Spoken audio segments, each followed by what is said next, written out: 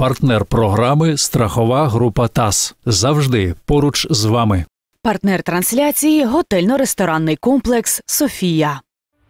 Вітаю! Це програма Детектор. Територія, де дуже важко приховати правду. За умовами програми гості спочатку проходять поліграф. Маючи результати детектора брехні, ми будемо говорити про ті теми, які викликали у них найбільше хвилювання. Тут на детекторі будуть політики і бізнесмени, громадські активісти і діячі культури. І повірте, їм буде дуже важко щось від вас приховати.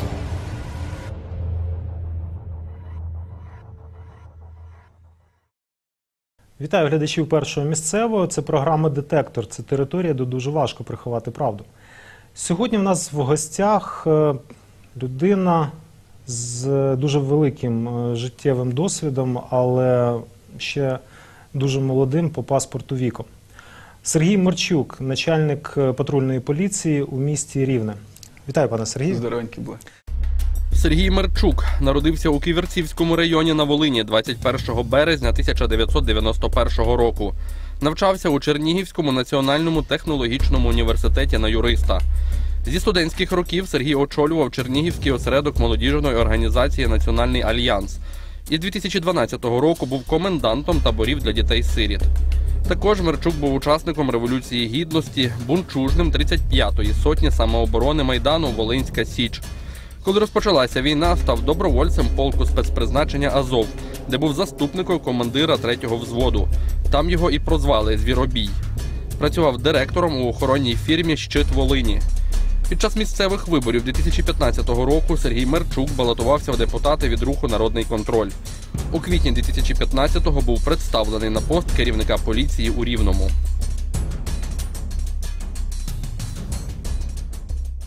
Свого часу ви, здається, були наймолодшим е, начальником патрульної поліції в Україні, так? Переплюнув мене начальник Кривого Рогу, йому 24. Ну, як вас призначили, ви теж були, по-моєму, Е, 24. Я був наймолодший, так, да, було 24. І е, тоді говорили, а що такі молоді можуть? Як вже більш серйозно сприймають? Та мене й тоді серйозно сприймали, бо я борода, і борода додає віку, і зазвичай додають ще 5-6 років зверху, але все ж за більше ніж рік роботи, я думаю, ми показали дійсно дієвий результат з плюсами і з величезними мінусами нашої роботи, і нас вже оцінюють за цей е, за цих майже 500 днів роботи, що ми зробили. Ну добре, про, про роботу поговоримо потім. Е, Традиційне запитання, яке я задаю всім нашим гостям. Е, Як відчуття після поліграфу? Я знаю, що у вас це не перший досвід е, проходження детектора. Цього разу є якісь нові відчуття, чи якось по-іншому, ніж це було раніше? Ну, питання зовсім інші, так? Не задавалися такого характеру питання, як були цей раз, але все ж е, не те, що ти хвилюєшся, можливо, я більше може нервувався, так? Бо питання були, можливо, не до кінця і дум- по моїй компетенції. Е, можливо, я, я шукав в відповідях якийсь підвох е, для себе, а потім, вже коли відповідав, для себе обдумав. А чи я правильно відповів вже сам для себе, так, для свого внутрішнього я. І ну завжди я старався відповідати щиро. Я для початку, перед тим як перейти до власне нашої розмови, яка буде складатися з двох частин. Ми е, їх назвали так умовно непублічне минуле і публічне е, сьогодення. Я хочу дати слово нашому експерту е, Олені Трачук. Олена Трачук, керівник рівненського представництва Всеукраїнської асоціації поліграфологів, має повну вищу психологічну освіту за спеціальністю практична психологія та основи правознавства та повну вищу економічну освіту за спеціальністю менеджмент організацій. Пройшла спецпідготовку щодо проведення психофізіологічних досліджень на спеціальному пристрої комп'ютерному поліграфі за свідоцтвом Поліграф Центр номер ОД 21014, видане 25.10.2014. Стаж експертної роботи з використанням поліграфа з 2014 року. Пані Олено, у вас яке було враження від е, нашого сьогоднішнього гостя? Доброго вечора. Враження від сьогоднішнього гостя е, були позитивними. Це молода людина, яка повністю відповідала е, тому, щоб проходити поліграф, не було ніяких скарг, немає ніяких нарікань.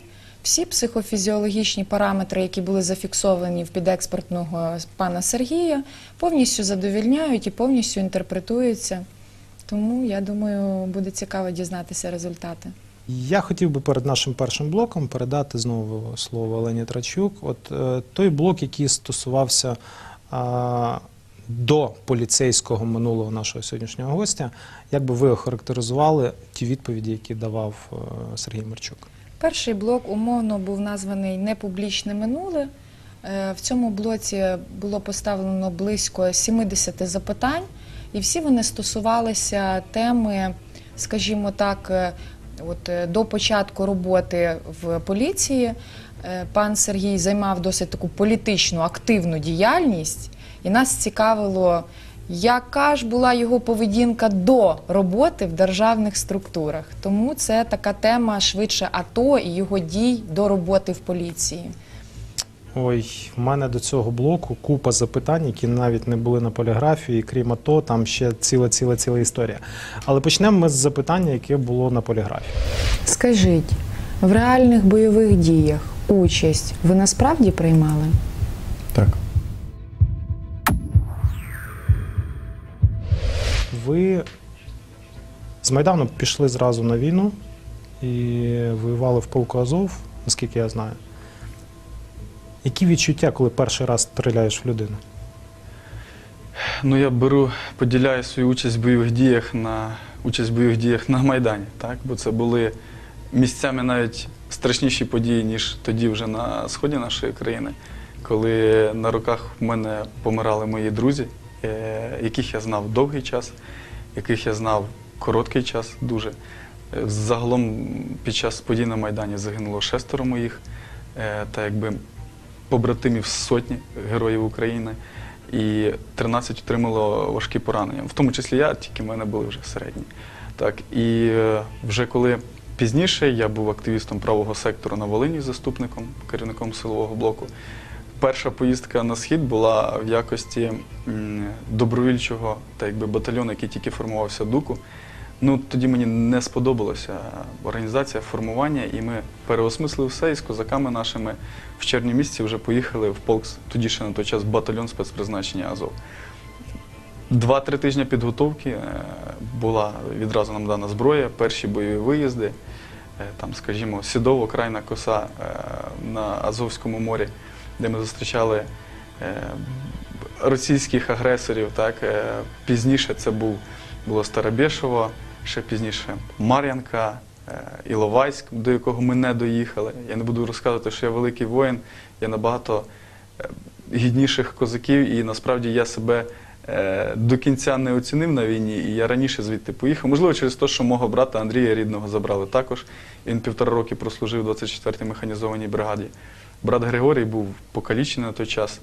Е, Сімейний стан був дуже в критичному стані, бо дідусі лежали, були вже на підході, мало, мали помирати, і вдома було дуже складно. І вже я в лютому місяці я повернувся назад. Бо морально не витримували, тому що влітку 14-го можна було і частково осінню можна було, як ми називали, двіжувати. Так? Можна було е, воювати з ополченцями, так званими, е, з російськими найманцями, можна було брати участь в бойових діях, хоч і було страшно, але це було життя, таке військове життя. А пізніше це було просте стояння на блокпостах. Е, і це було скучно. Коли повернувся назад на базу, е, мої друзі мені вибрали джуру, таку зачіску козацьку першу. Е, і я до цього часу її продовжую, тільки вже не в джурі, а в своєму чубі. І зараз мене багато досить хто питає. Ну, це лишилась така моя принципова пам'ять і позиція до цього. Я для себе внутрішньо пообіцяв, якщо я перед ворогом не збрив цю зачіску, бо не дай Бог було попасти тоді в полон, самі уявляєте, що могло б бути. Страшно було? Е, Брехун скаже, що було не страшно. Коли тебе обстрілюють ураганами, і ти лежиш, е, сидиш в окопі, і таке, як знаєте, хвиля в морі. І ти вже пригаєш не на там просто на землю, а вже на четверту людину зверху.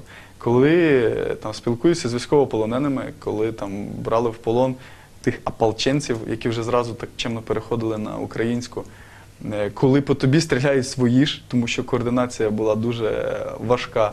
Коли попадаєш під гради, коли ми перший раз попали, потім коли під мінометний обстріл біля Маріуполя, якраз рівно три роки тому, я це постійно згадую, знову ж під ті самі гради. Коли ти три дня е, з другом лежиш е, з жменею макаронів сухих е, в кармані і їх їсиш, бо ну, більш немає нічого. А схід нашої країни це в день 42, а вночі 8-7 градусів. І ми один одного мусили обнімати, щоб нагрітися. І лежимо вже на нулі, дивимося, як там хтось пересовується. І наші ж відпрацьовують там зеленки, щоб їм на випередження не вистрілили. Так? Коли в твого е, друга знаходиться в кармані або в підсумку граната з відігнутими вусиками, тобто це свої таким самим чином підставляли. Ну і багато таких військових історій, яких я там не завжди можу згадати. Але саме важке це було похорони. Це постійні 14 рік це просто ну, в мене церква асоціюється з якимись похоронами. Сльози там матері, дружини і загиблих моїх хлопців. І в, в загальному це, ну, це було жахливо.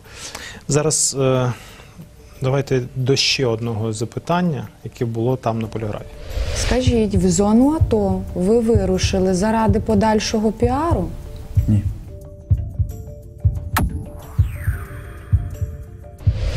Мені чомусь здавалось, що коли почнеться війна, в мене вистачить сили взяти в руки зброю і піти.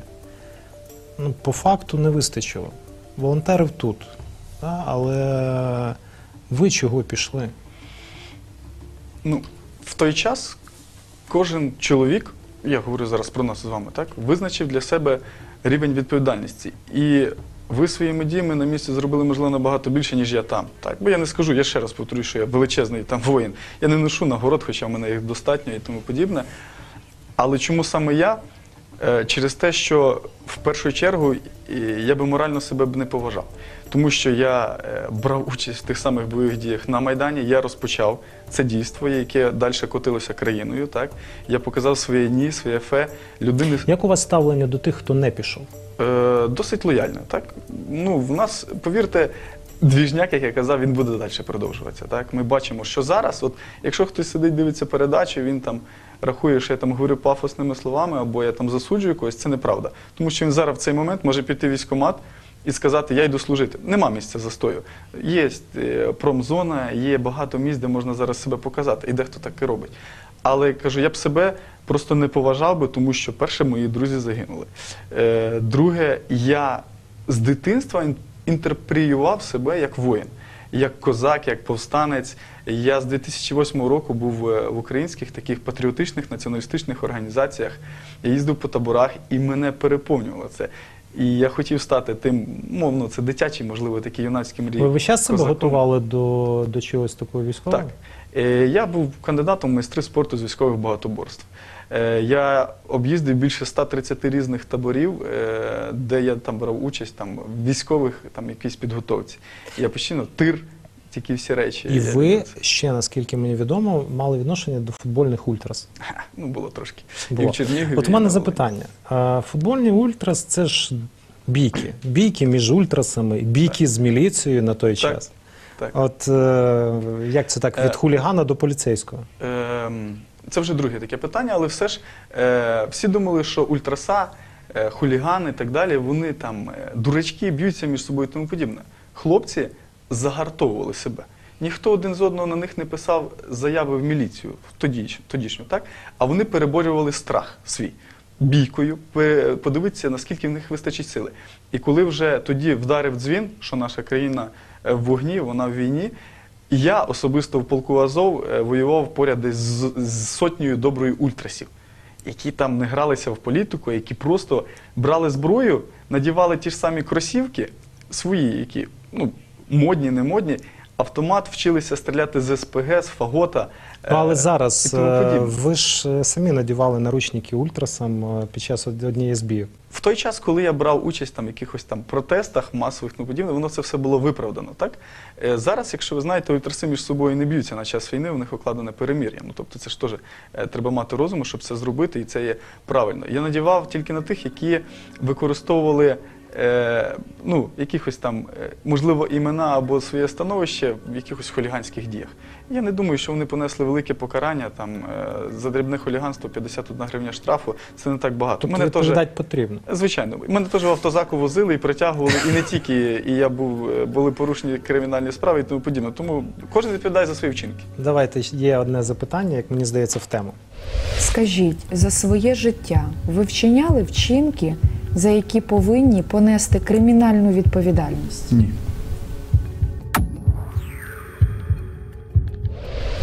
Я, як юрист, я чітко усвідомлював, що я відповідаю неправду. І я вважаю, і я відповідав е, це, як би сказати, наперед, я знав, що це буде неправда, але я рахую, що це була революційна необхідність, так? І я думаю, ви мене підтримаєте. Що ви маєте на увазі революційна необхідність? Е, ну, чекайте. Ну, багато різних подій. Наприклад, е, захоплення адміністративних будівель. Ну, безпосередньо я участь не брав в захопленні, але я жив в Міністерстві агрополітики. Я жив в українському домі, я жив в КМДА. На той час були підозри на всіх тих, хто був е, замічений на відеозаписах, е, так, на тих всіх подіях, участь масових заворушень, що призвели для, до загибелі правоохоронця або там поранень. І я нікого, я можу зразу з щирістю сказати, що я нікого там не бив, не вбивав, так? але я знаю, що я брав участь в масових заворушеннях. Так? Я е, не завжди, можливо, коктейлі Молотова на Майдані теж були незаконними. Е, ну, я не скажу, що їх кидав, так, бо я може їх і не кидав. І бруківки я теж не кидав, і її не довбав, так, і ще багато всяких різних речей не робив. І речей, про які багато хто не дізнається, але після того я не став осторонь і не почав казати мусора, дураки, поліцейські селфіки і тому подібне. Я власним прикладом пішов. І я показую, що не треба стояти осторонь, треба просто своїм прикладом. Ти хотів якихось змін, давай не перетворимося в старих гаїшників і пепсів, а будемо робити так, як ми вважали було б за потрібно. Якщо я там в лапках, скажімо, приймаю якусь е, людину за адміністративне правопорушення, молодого хлопця, він дійсно там вчиняв адмінпорушення, як це було на День Незалежності. Молодий хлопець, він чинив нам таку, е, як би сказав, злісну непокору. Так? Але потім з ним поговорив, він там студент, майбутній військовий. Я кажу, дивись, я ж бачу, що ти адекватна людина. І я це розумію. І я тебе відпущу зараз, бо твої дії є малозначними, але все одно б тебе мав понести покарання. Але він ще розсередно розкаявся і тому подібне. Тобто є Ви варі... де були студентом? Я був студентом е, в найкращому студентському місті в Чернігові. Він такий був досить прокомуністичне місто, але воно мені подобалося. Е, Я вже з 2008 року, коли всі казали Слава Україні, це якась перепрошую слово а я про нього ходив і на кожному кроці кричав Слава Україні! Ми заляпували Леніна краскою, ми обкидали її цеглою, ми брали участь в Що теж є адміністративним правопорушенням. Само собою, так, і я це визнаю, я не жалію того Леніна. Е, нещодавно, рік тому, до мене телефонують, де Ленін питають е, працівники правоохоронних органів. Я кажу, який Ленін? Ну, під час А ви в Луцьку вчились? Е, ні, я в Луцьку, я в Луцьку навчався в військовому ліцеї. Два роки я навчався в військовому ліцеї, в- теж дуже прекрасний навчальний заклад після 9 класу, 10-11 клас, який я От закінчив у нас знаком. є одне запитання якраз по ваших студентських роках. А, Прошу. Скажіть, під час навчання в Луцьку екзаменаторам хоча б раз хабара видавали? Ні.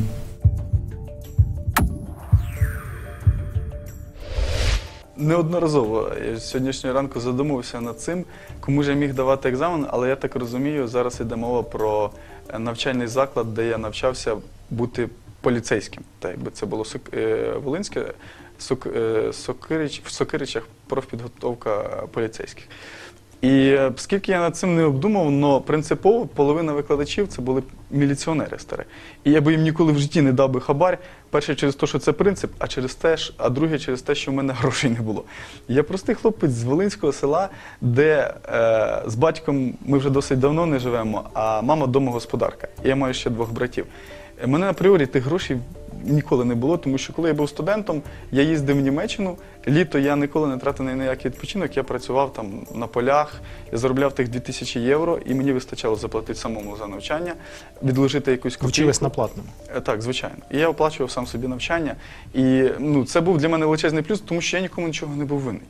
Я все-таки отримав той диплом про безробіття, але під час навчання в- е, Диплом про безробіття ви так юридичного називаєте? зразка. Так, Бо, Ви тому що так диплом про е, закінчення університету? да, Звідки ця історія? З Е, звідки ця е, історія? неправдою про хабар? Ну я кажу, я ще декільканадцять разів це обдумував. Но пізніше, коли ми прощалися з викладачами з е, самого нашого навчального закладу, вони були двоє з Харкова. Вони нам найбільше в душу запали. Це був полковник і підполковник міліції на той час. Вони викладали в Харківській академії внутрішніх справ. І вони настільки на, до нас стали рідними, вони нам зробили там дипломи нашого зразка і тому подібне. І коли вже прощалися, ми кажемо, є в нас такий унікальна штука, яку ви не пробували, ми хочемо від цієї групи вам подарувати. Ми подарували мацик. Там чи кобаса, чи щось таке було в'ялена. І вони їм було приємно, вони поїхали додому, спробували цю річ. Можливо, це відреагувало неправильно. Але хоча не треба забувати, що детектор брехні на 30% все-таки може е, нести помилку. Так? Но я принципово я можу там, не знаю, зуб дати та, на пацана, що грошей не давав нікому. Ну, е, техніка може помилятися, але я схильний до того, що е, майже не помиляється наш поліграфолог Олена Трачук. І мене зараз цікавить, чи нашого експерта влаштовують відповіді, які отримані тут. Однозначно, так як прокоментував пан Сергій про те, що техніка помилилась на 30%, не погоджуюсь принципово. Техніка не помиляється. Може, це ви так відреагували, і техніка так зафіксувала, що це була неправда. Тим більше, тоді, коли ми робимо паузи, перерви для відпочинку між тестами, зазвичай, коли підекспертний сумнівається, яку він дав відповідь, а про це нам сказав Сергій, що він інколи сумнівався, чи правильно він дав відповідь.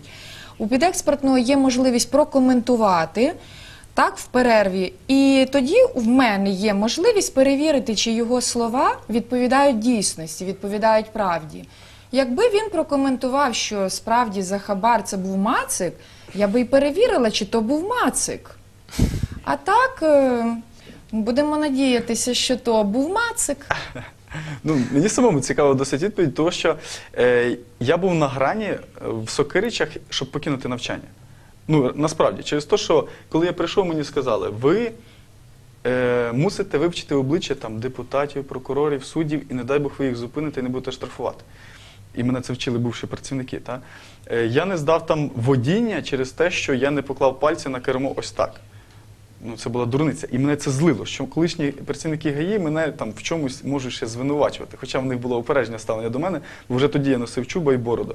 І я вже був на грані. Кому мені там було би давати якісь там гроші, неправомірну вигоду? Можливо, когось я підвозив, можливо, це розрахувалось. Но е, я міг говорити за навчальні роки, коли ми там викладачам купували конхвети, так? Е, за якісь там, не знаю, речі е, на якомусь там третьому курсі, так? Але в Сокиричах це було все принципово і насправді Ну, а, пояснення Виправдовуватися є, не да, пояснення є, глядачі вирішать, чи, е, чи Окей. вірять, чи не вірять. А ми е, рухаємось далі. І ще одне запитання з вашого проходження поліграфу. Скажіть, за своє життя ви вчиняли вчинки, за які вас мучать докори сумління?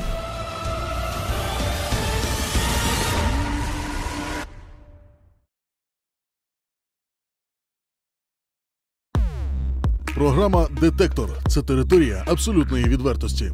Учасниками проекту стають сміливці, які не бояться відкрито говорити з рівнянами про свої роботу, депутатську чи громадську діяльність, статки та політичні вподобання. Чи є що приховувати тим, хто досі не пройшов детектор? Чи готові запрошені гості до чесного діалогу з поліграфом? Що приховують запрошені політики від своїх виборців? Для кого показний імідж важливіший за чесність? Які скелети у шапах рівненських чиновників? Детектор. Відчуйте різницю між відвертістю та пустими обіцянками.